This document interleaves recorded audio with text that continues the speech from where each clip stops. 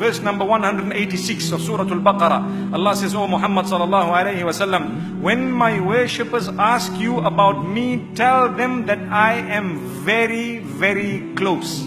If you feel the closeness of Allah, you achieve peace. It protects you from evil. It gives you the hope. It makes you a person who's looking forward to worshipping Allah, who's looking forward to seeking forgiveness. Any problem you have, who do you call out to first? Allah. Who do you call out to? Allah subhanahu wa ta'ala. So this verse continues where Rasulullah sallallahu alayhi wasallam is being instructed to tell us, I respond, meaning Allah is saying, I respond to every caller as he calls. Imagine every one of us at the same time calling for different things.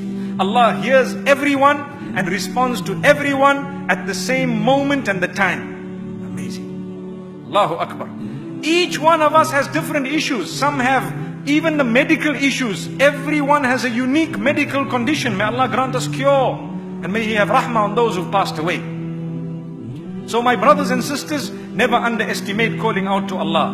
Like we said yesterday, the month of Ramadan, when we get up, we are getting up with the intention of suhoor in the morning. That is the blessed moment. Spend some time, call out to Allah. He is near. That's what He says. I am very near. I respond to the call of every caller when he calls out. May Allah's blessings be upon us. So don't underestimate the power of dua. It is indeed the ingredient of inner peace.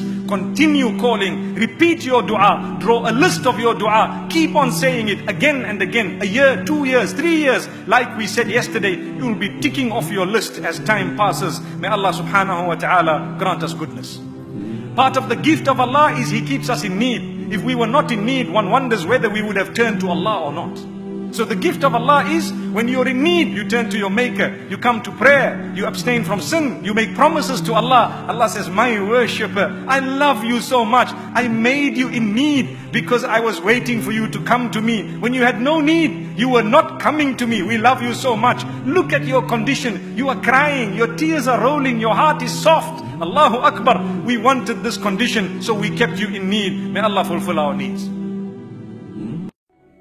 تذكر يوما كنت تعانق دمعة الفكر. تناجي الله في صبر وترجو رحمة تسري. فعاش القلب إخلاصا وصرت تحوم كالطير. تحلق في ثقافات وتنهل من ربى الخير.